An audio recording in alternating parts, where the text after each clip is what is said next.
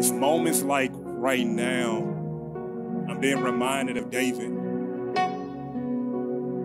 That even when we look into David's life, we can see that David was anointed to be a king at a young age.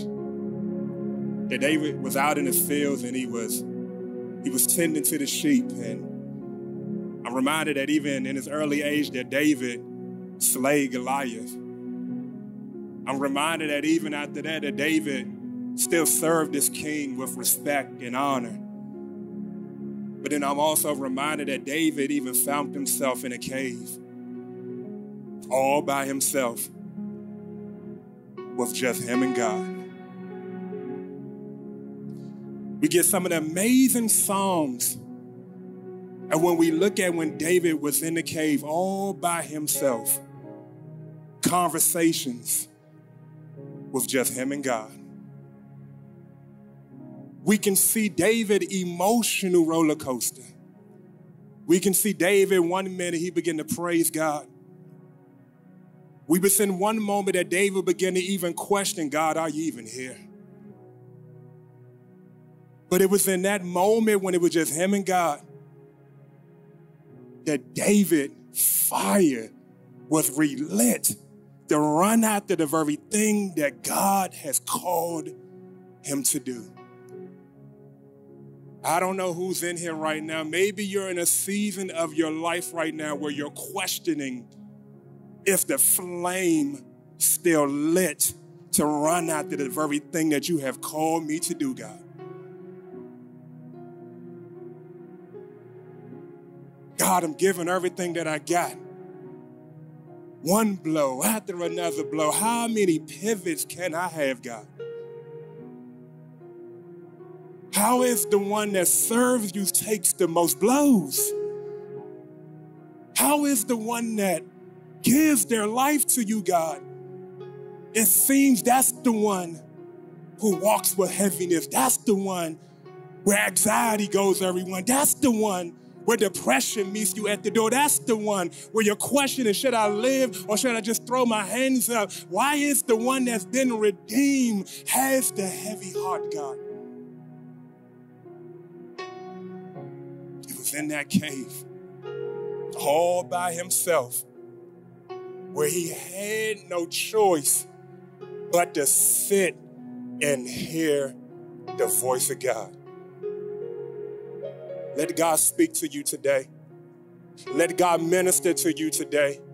Let God begin to speak at the very fear that's been intimidating you for all of these years, been poking at you, been telling you you're not the one, been telling you that you can't do it, been questioning you. You're questioning yourself now. Intimidation is rising in your anxiety. Fear is looking you at you every single day, and God is standing right here whispering to you, I'm still with you. I'm still right here. I know it looks like defeat. I know you're questioning is it my past? Is it my mistakes? Did I make the wrong choice? And God is saying, I'm still right here. I'm still right here. Heavenly Father, we love you, we honor you. We receive your presence on today, Lord God. There's nothing greater than your presence. Speak to us today, Lord. Begin to minister to us right where we're hurting at, right where we feel the pressure at, right where we're feeling as we can't take another step, but we believe your word says that all things are possible to them who believe. So touch our faith right now, increase our belief right now. We rest on you, we lean on you. Guide each and every step. Let us know that you never will leave us. Let us know that you will never forsake us. Let us know that your presence is here. Lift up our heads today as we worship you on today, Lord God. We worship you in this place. Glorify your name you have your Bibles, go ahead and turn to 1 Kings chapter 17, verses 1 through 13. I'm ready to preach, family. I'm ready to I'm ready to punch the devil right in the face. Come on, you got my back today, family? Come on. Can you talk back to me today? Come on. Talk back to me today, because God is speaking and speaking all week. He speaks every week. But I can feel his presence even more right now. 1 Kings chapter 17, verses 1 through 13. And it reads, it says, Now Elijah, who was from Tishbish in Gilead, told King Ahab, As surely as the Lord, the God of Israel, lives, the God I serve, there will be no dew or rain during the next few years until I give the word. Then the Lord said to Elijah, Go to the east and hide by Cherith Brook, near where it enters the Jordan River. Drink from the brook and eat what the ravens bring you, for I have commanded them to bring you food. So Elijah did as the Lord told him and camped beside Cherith Brook, east of the Jordan. The ravens brought him bread and meat each morning and evening, and he drank from the brook. But after a while, the brook dried up, for there was no rainfall anywhere in the land. Then the Lord said to Elijah, Go and live in the village of Zarephath, near the city of Sidon. I have instructed a widow there to feed you. So he went to Zarephath. As he arrived at the gates of the village, he saw a widow gathering sticks. And he asked her, Would you please bring me a little water in a cup. Somebody say little. As she was going to eat, he called to her, Bring me a bite of bread too. But, he, but she said, I swear by the Lord your God that I don't have a single piece of bread in the house. And I only have a handful of flour left in the jar. And a little, somebody say little, and a little cooking oil in the bottom of the jug. I was just gathering a few sticks to cook this last meal and then my son and I would die. Close right here in 13. But Elijah said to her, Don't be afraid. Come on, tell yourself that today. Don't be afraid. Don't be afraid. I want to preach from this subject today, family. If you're taking notes, write this in your, t- in your message. Help. I'm drowning in my fears. Amen. Amen. Say it again. Amen. Amen. You guys can go ahead and have your seats. Amen. Going to go ahead and dismiss C kids. Come on, from middle school and high school. If you're not already in the hallway, your wonderful leaders are definitely over there. How you guys feel? You feeling good? Come on, can we just put our hands together for worship? Just a amazing time in worship and Right before we transition and move further into the message, I do want to drip a little bit of announcement. Come on, somebody say next Sunday. Come on, telling you, look at your neighbor and say next Sunday. Next Sunday, you want to be here, family. We have an amazing announcement to share with you guys. I'm telling you, I'm going to drip a little bit, but I can't drip too much because I don't want to get in trouble by the staff. But you want to be here on next Sunday. I'm telling you, we all know that God has been moving through this church this entire year, and we have some fantastic news to share with you guys. The team has been working hard behind the scenes, and I'm telling you, God is taking us somewhere. God is with us, but God is taking us somewhere, and He's getting ready to do some amazing things. And you gotta be here next Sunday. And I'm gonna just leave it right there because I want to say it right now, and that's just gonna ruin the surprise. So even at the service, don't ask me. Matter of fact, I'm gonna just go hide because I know I can't keep a secret and I'm to tell it. So be here next Sunday. It's to be phenomenal. Family, family, family. There are so many phobias in life. I know this because I actually had to turn in a research paper because my teacher, Princeton, my six year old, asked so many questions and he had me Googling all of these phobias that's in life. There's so many phobias. Matter of fact, you know, Google, because that's where a, lot of us go for our doctor degree research paper. We go to Google, and Google said in the top 20, uh, top, top 2022, the top phobias, and I'm gonna give you the top four right now. The first one is acrophobia, the fear of spiders. Come on, a fear of spiders. Come on, I don't want to see any spiders in my house. Come on, anybody, anybody scared of spiders in here? I, I don't want, I know, it. come on, I know you're scared of spider, but another one is ophidiophobia, the fear of snakes. Fear of snakes. Matter of fact, come on, matter, of fact, Brenda, come on, we, we found a, a lizard in our basement last week. Come on. I'm telling you right now, I don't know if it was prophetic or not, family, but we stomped. Matter of fact, Brenda caught it. She put the, the cup over it. Then I came, I grabbed a shovel and I snapped his head off. I don't, I don't know how prophetic that is, but I, I just got reminded of Jesus stepping on the head of the enemy. Don't you live in my house. Me and my wife and the family, we will serve the Lord.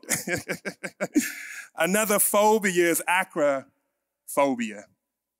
It's the fear heights. So some people can't fly because we're, we're actually afraid of heights. And another phobia would be, um, this one is kind of popular because of the pandemic. It is mysophobia, fear germs. You get in the airport, me and Brenda was in the airport. We the only ones with a mask on because Brenda is afraid of germs. I'm like, I don't need no uh, face mask, babe. I'm covered by the blood. I don't need any face mask. She said, put your face mask on right now. and you know what I did? What did I do? I put my face mask on. but family, a lot of us may not have or may resemble with those phobias, but I do even through prayer, what I think a lot of us actually have common interest in is one fear and that's the fear of running out. Running out of time. Running out of patience. Running out of options and resources. You may not be afraid of snakes and spiders and heights, but what is one thing that we could have common interest in is that, Lord God, am I running out of what I have right in front of me? See, we can be in a season of our life and we can see God's hand move through our life, but we begin to look at the very thing that's in our life and begin to say, God, if you don't show up, the very thing that's blessing me can actually become to an end. I'm afraid that I'm running out of time. Running out of time. God, when is, when is I'm going to get that career job? I'm running out of running out of time, God. And when is going to be my season to get married? I'm, I'm running out of time, God. When is, I, I don't have no more options. I'm running out of resources. How do I parent my children in the society of that? They're growing up, Lord God. They're surrounded by things. I'm running out of options, even how to be a husband or a wife. What do I supposed to do? I'm running out of love. Anybody ever been in a season where you're feeling though you're running out of the very thing that's in front of you, I'm running out of, I'm running out of strength. But the more I walk with God, I come to find out this, that God will actually lead you into seasons where you have to depend on Him because you're running out. That it's, it's not just the enemy that's all the time that's snatching of everything that, that God has placed in our life. Sometimes God will actually lead you into the valley. Sometimes God will lead you right into a cave where you're dealing with little, where you're dealing with running out, where you're dealing with just enough. And God has you right in a place where you have to lean on Him because of the limitations that's in your life. Sometimes God will lead you into a season of being reduced.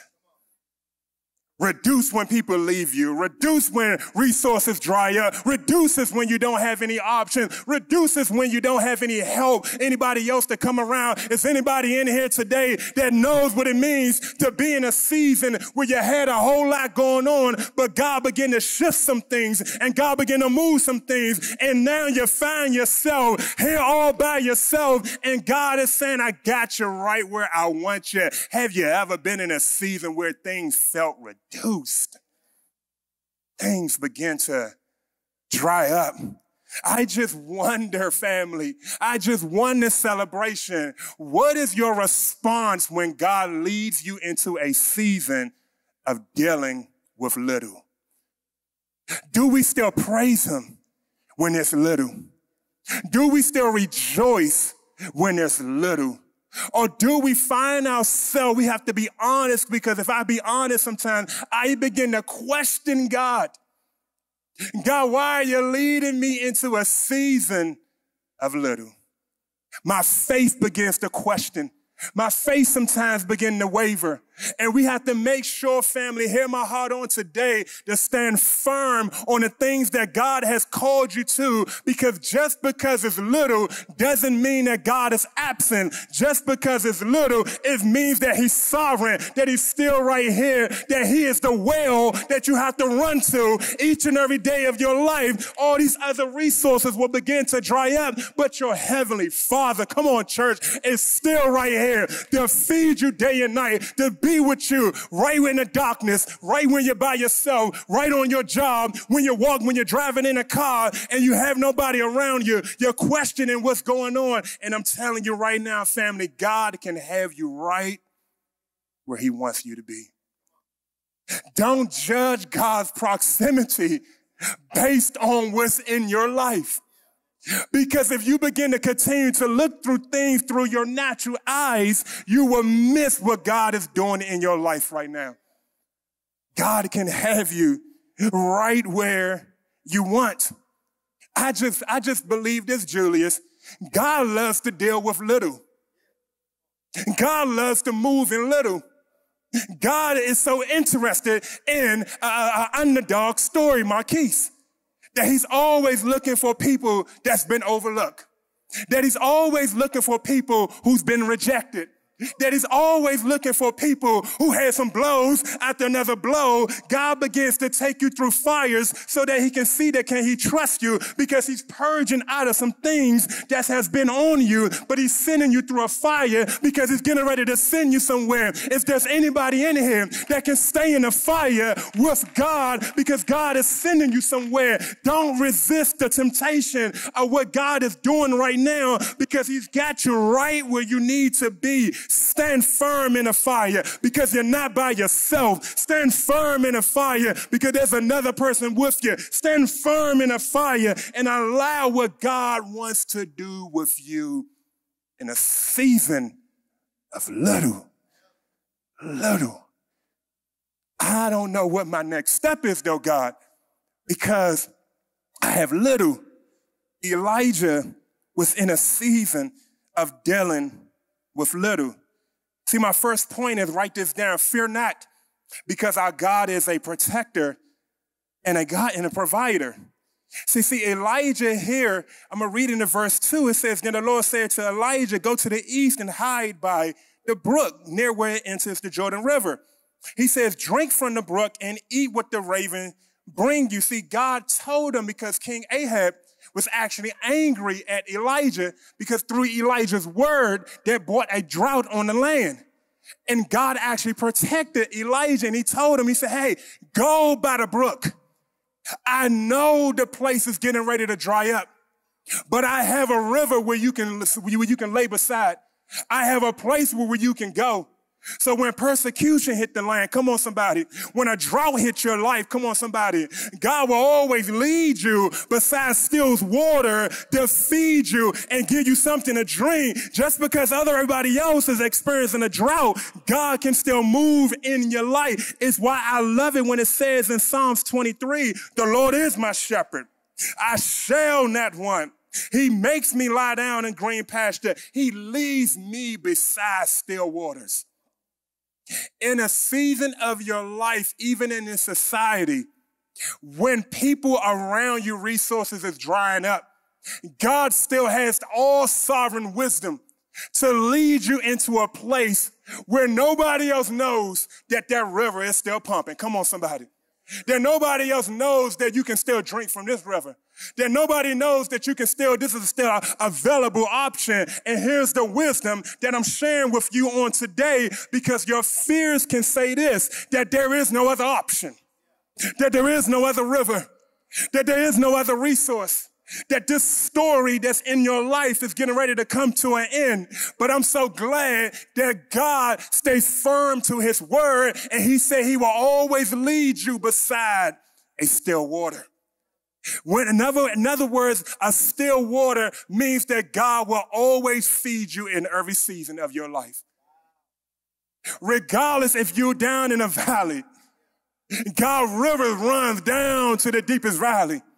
And even if you find yourself on a mountaintop, and a lot of times people say when you climb that mountain, it actually can get a little bit lonely. When you climb that mountain, you can actually feel like you're by yourself. When you climb that mountain of success, and all I'm telling you here, God will meet you there, and God will meet you right there. And then on the way in between, God is walking with you. On the way in between, God is leading you. On the way in between, God is feeding you day and night.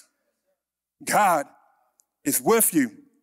God is a protector. He provides because he leads Elijah to this, he leads Elijah to this brook. But what I love about this lead is that, that he commands the raven to feed him. See, the beautiful thing about this, Marquise, is that the raven is unclean.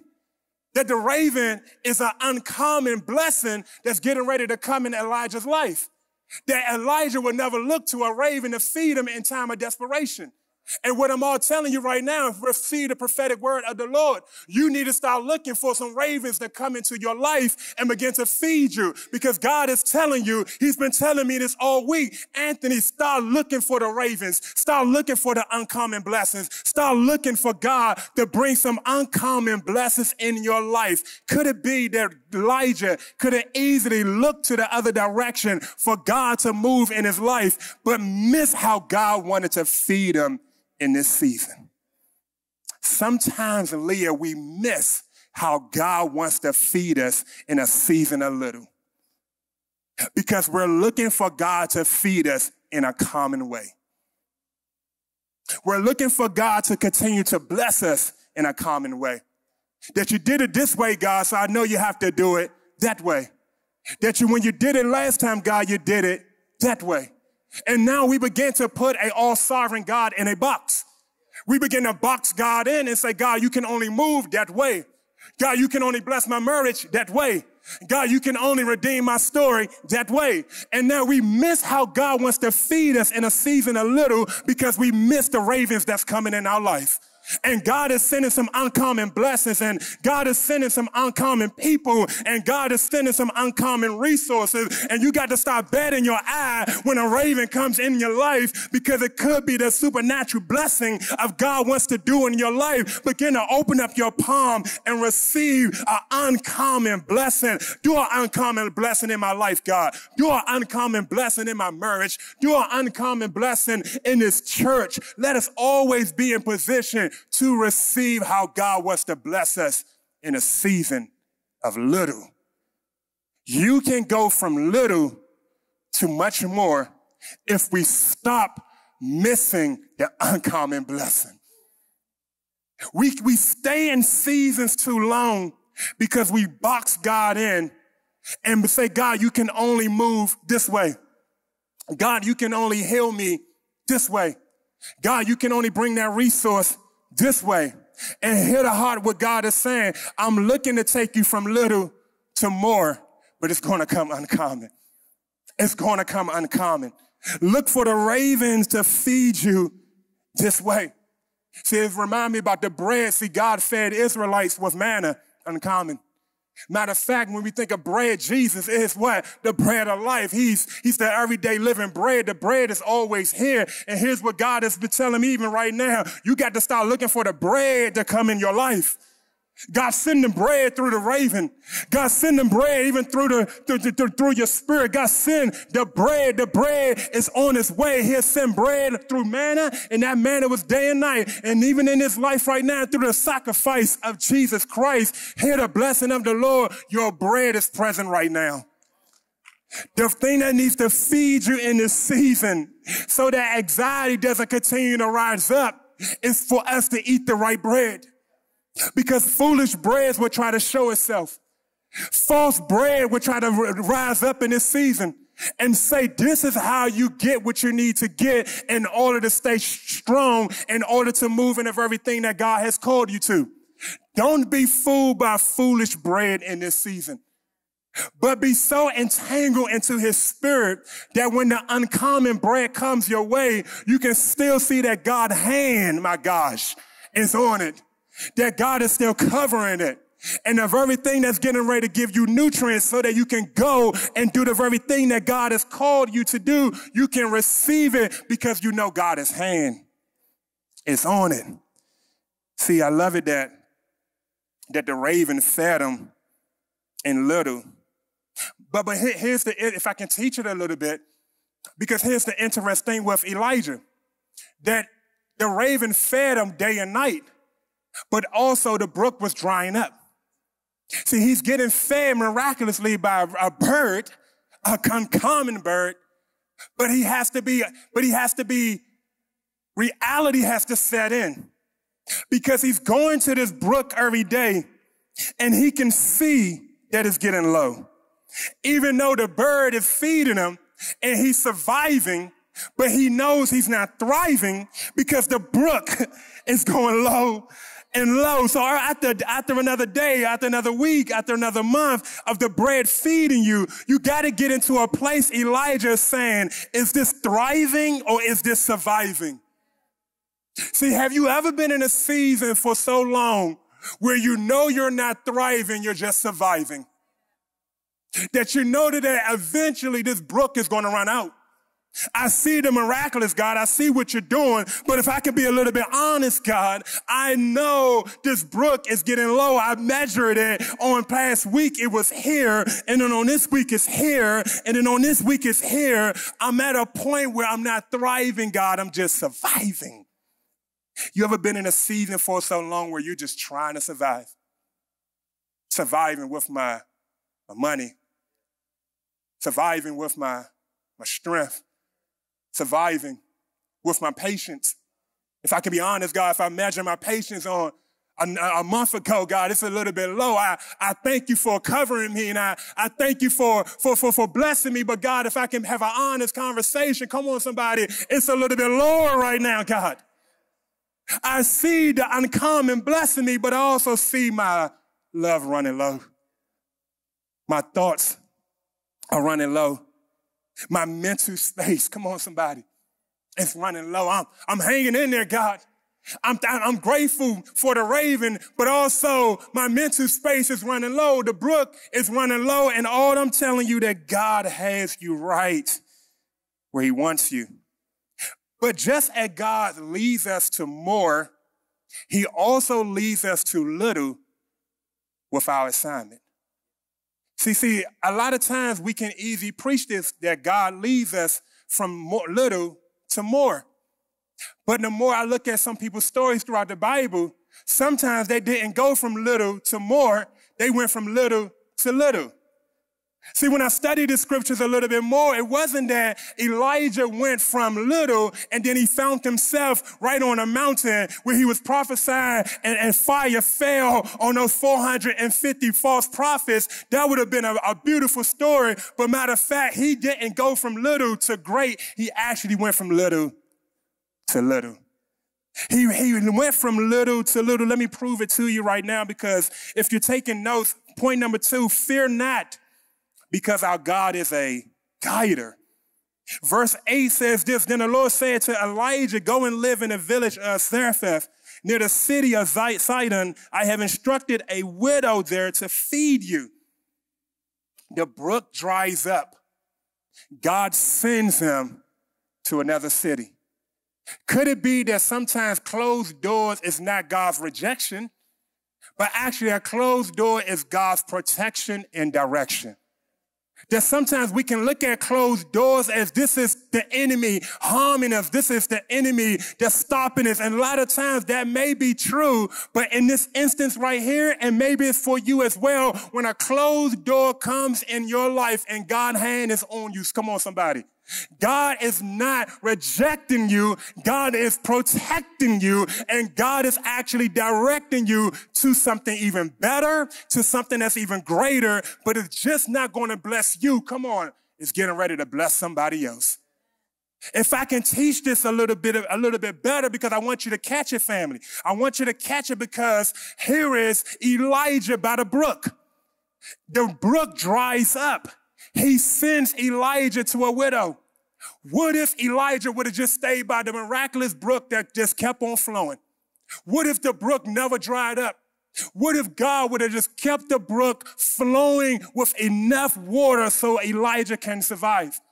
Elijah would have never ran into the widow. Elijah would have never saved his family from starvation. This family would have died. This son would have died. Elijah would have never had a moment with the family. And matter of fact, if I could teach you a little bit more, because even where the widow was, the widow lived in the heart of the city, right in the middle, where the prophets, the false prophets of Baal were, right in the center of it. If Elijah stays by the brook, he never gets close enough to the false prophets and he never has his moment up on a mountain calling down fire and saying, God, rain right now, showing, and he defeated the false prophet. None of this would have happened because Elijah would have stayed comfortable sitting by the brook. God, you're doing it for me. I can just stay right here the rest of my life. God, I have enough. God, you, you're doing it. I, I can just stay right here. This is comfortable. I'm good, God. I have enough. I see you moving. But sometimes God will dry up one thing so that he can move you to another thing. Sometimes God can dry up one thing so he can move you to the next assignment. See, don't just miss when something's drying up. It could be that God is sending you to something else. See, here's the beautiful thing about this picture though, because like I said, Elijah goes from little to little. This is a widow. This is a widow who, who's dealing with little. Matter of fact, we'll talk a little bit more about this next week.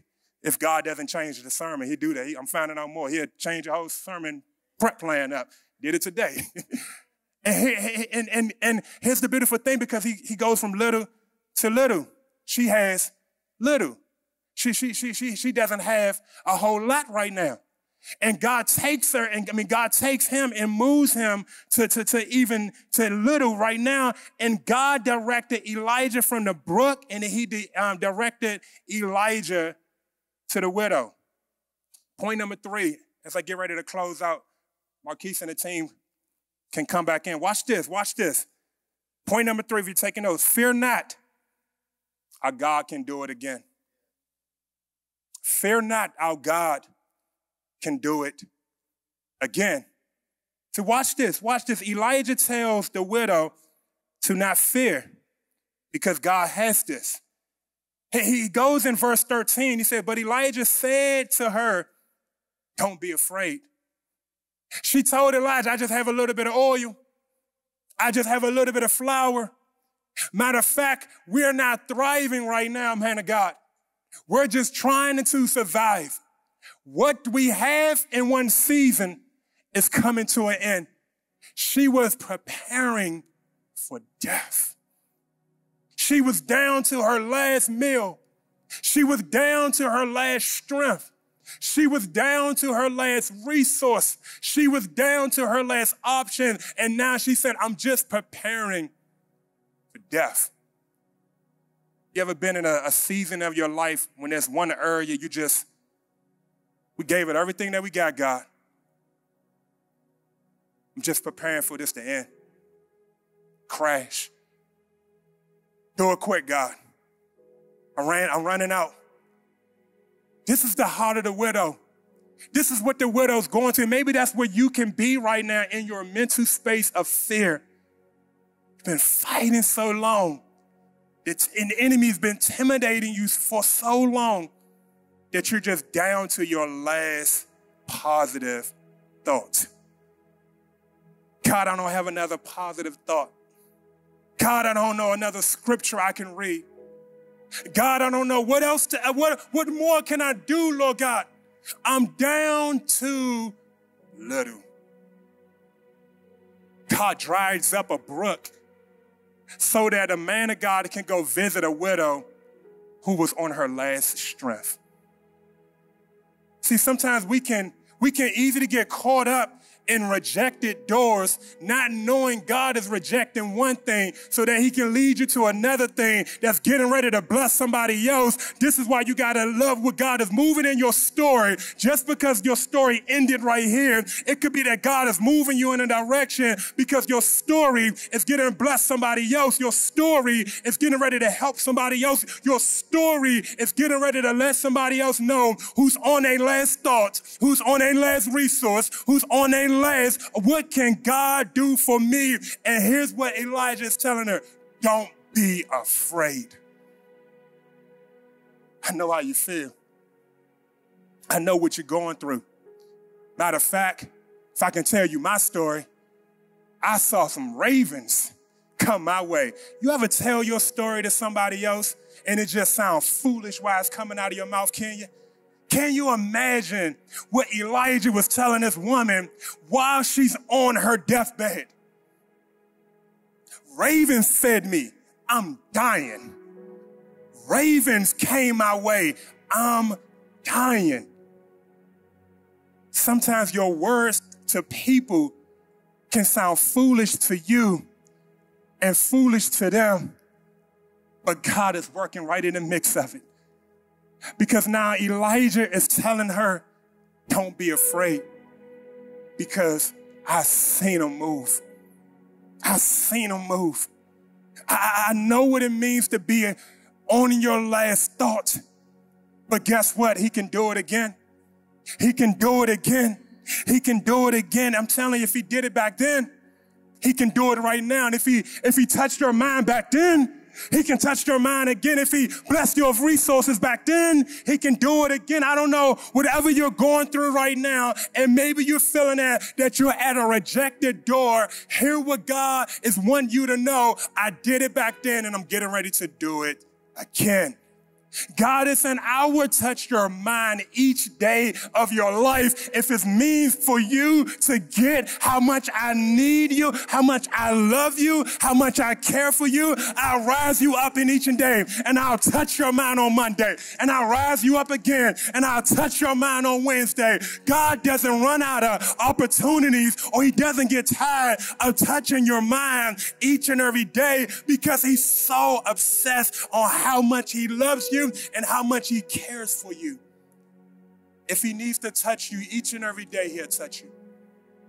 If He needs to speak to you each and every day, He'll speak to you. If you're walking through a season of darkness and you're judging and you're condemning yourself, hear what God is saying. I still love you and I'll speak to you every day. Doesn't matter where you are right now. Doesn't matter if you feel rejected. It doesn't matter if Goliaths, giants are coming your way every day and you're feeling like you're getting ready to get, give up and you're feeling like you're going to get ready to quit and you're feeling like I don't have another thought to throw this way at this battle anymore. And I'm just here to tell you as a friend, as a brother, and as a pastor, God still loves you. God still cares for you. That God grace is still here. And as we get ready to close, we can stand to our feet. Here's what God is telling me even right now. It's time to release your voice. That it's time to release your prophetic voice in this season. It's time to silence the fears that's been speaking to you way too long. You've been silent way too long. You've been quiet way too long. You've been allowing the enemy the fears of intimidation to speak to you and raise his voice way too long. Here's what God is saying. It's time to release your voice. It's time to, to say it with your chest, open up your mouth and begin to declare what God has been telling you. To declare that my family is blessed. To declare that no more strongholds will hold us back to declare that his word said that he will bless us in the city He will bless us coming and going, that He will cover us, that He will always be with us. It's time to declare what God has been speaking over your marriage, that your marriage is a ministry, that your marriage will go help and bless people, that your marriage is getting ready to move in a powerful way. Even for all of our singles in here, your singleness is a blessing. Your singleness is a gift. That the way that you walk, the way that you carry yourself, the way that you be a resemblance on how God is with you, that He is the Lord of your life. Not allow the enemy to speak another fear in your life. Begin to release your voice and declare what God is saying to you right now. My kids are blessed. Come on, somebody. Come on, somebody. We're going to go back into worship, but I'm telling you, this is the prophetic word of the Lord. You've been quiet too long, and God is saying, release your voice. You're waiting for the worship team to release it for you. You're waiting for the pastor to release it for you. You're waiting for another preacher that's on social media to release it for you. And here's what God is saying I'm waiting on you. Release your word. Release the very thing that I have placed inside of you. Nobody else can release it but you. So when you're feeling isolated on Wednesday, release it. When you're by yourself on a Friday driving into work, release it. Keep saying it. When you're feeling like you're getting ready to give up, when you're feeling that you're on your last thought, hear me. Release it. Release it. Release it. Release this. Psalms 34, verse 4. I sought the Lord and he answered me. And he delivered me from all of my fears. Somebody say all of my fears. Oh, not just one. Come on, somebody. Not just one, not just a couple, but each and every one that comes and shows itself. God saying, I give you strength to have access over all of my fears. Those who look to him are radiant. Their faces shall never be ashamed. Psalms 27 as we get ready to close. The Lord is my light and my salvation. Whom shall I be afraid? The Lord is the stronghold of my life. And whom shall I be afraid? Come on, somebody. Deuteronomy 3, 22 says it this way. You shall, you should not fear them. For it is the Lord your God who fights for you. And all I'm telling you, you have a father that's in heaven who sent this Holy Spirit not to just comfort you, but to do battle for you. Not to just sit there and give you massages on your temple, but the Holy Spirit is here to fight for you, to protect you, to give you dominion, to give you access. Your Lord is fighting for you right now. Fighting right here in the mental space of your mind. Where you're feeling defeated, I'm telling you, the Holy Spirit is battling on your behalf. On your behalf. On your behalf on your behalf. That's how much he loves you. Come on, get personal with that thing. God sees you. He knows your name. You are one. You're not caught in a multitude. You're just not a number on a chart. When God sees you, he sees the one and his mind is on you and he's battling for you each and every day of your life. When you feel disgusting, come on somebody, he's still battling for you. When you're feeling a condemned, he's still battling for you because his word said it this live he didn't come to condemn the world, but he came to save you and you and you and you and you. He comes to save who which is lost. So if you're feeling lost, I'm just here to tell you that he still loves you. He's not condemning you, but he's releasing grace on you today. Second Timothy 1 and 7 says it this way. For God has not given us a spirit of fear, power, love, sound judgment. When translation says sound mind, I don't have to walk in fear no more. I don't have to walk in fear no more. Even when I, I don't know that I can do it. Come on, somebody, touch your mind right now. I don't have to walk or listen to that giant no more. Matter of fact, I declare that you're not even a giant right now. I don't even label you there. You are not even a giant in my life. Come on, somebody.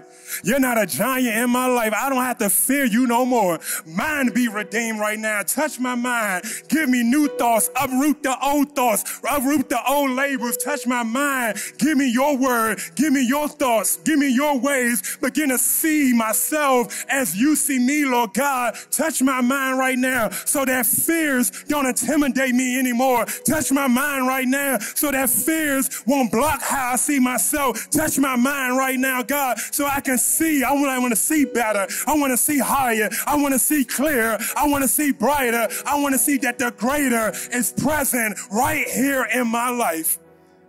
Touch my mind. Touch my mind. As I close out, it's not part of the note, so it won't be on the, on the screen. But number 624 says it this way. A lot of times we just use it as the benediction, like it's a cue, like class dismissed. Let me go get some brunch. That's, that's the mark of service is ending. But it's not a mark that service is ending. It's a confirmation, an affirmation that his hand is on you. So this season of your life, may the Lord bless you and keep you. May the Lord shine his face upon you and be gracious to you. And may he lift up his countenance upon you and give you peace. My God, my God. My God, I'm feeling it. I'm sorry, guys. Deuteronomy 28. And all of these blessings shall come upon you and overtake you if you obey the voice of the Lord your God. Blessed shall you be in the city, and blessed shall you be in the field. Blessed shall you be in the fruit of your womb, and the fruit of your ground, and the fruit of your cattle, the increase of your herds, and the young of your flock. Blessed shall be your basket and your netting bow. Blessed shall be when you come in, and blessed shall be when you go out. The Lord will cause your your enemies who rise up against you to be defeated before you. Wherever I go, I'm blessed. Wherever God takes me, I'm blessed. Wherever you sending me, God, I'm blessed. Even if I find myself beside a brook that's getting dried up, I'm still blessed. And even you send me to another city and that woman is dealing with little, I'm still blessed. And if I'm up on a mountain, I'm still blessed. Wherever you want to send me, send me, God. Giving you, I'm giving you my yes because I know if your hand is on me, I'm blessed. Lord, don't take your hand off of me. I just say yes. Just say yes right now. Just say yes.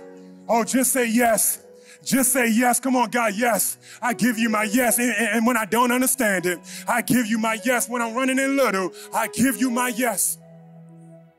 When I'm feeling like I'm at a place with just enough, I say yes. When I'm at a rejected door, I say yes. When I'm down to my last, Say yes. Heavenly Father, we love you. We honor you. We thank you that you can take little and do much with. We thank you that you are a multiplier, God. We thank you that even right now you can take the bread, the fish, and multiply. That you can take little and feed thousands take little and feed all of my thoughts right now. Take little and feed my family. Take little and feed my health. Take little and feed my strength. Come on, just ask him, ask him to feed you right now. He's feeding you right now. He's feeding you right now. Whatever you need, whatever you're running empty on, begin to open up your mouth and say, God, feed me. Feed me, God. Take the little right now and multiply. Feed it. It's not running low when God's hand is on it. Feed us.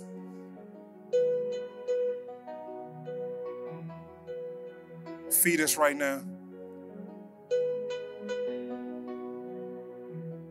Feed us right now, Lord God. If that's you, just begin to stretch your hands up. Just begin to stretch your hands up. and receive what God is saying. Feed us right now, Heavenly Father. Bless us as we're going and bless us as we go out. It is in Jesus' name. Come on, somebody say amen.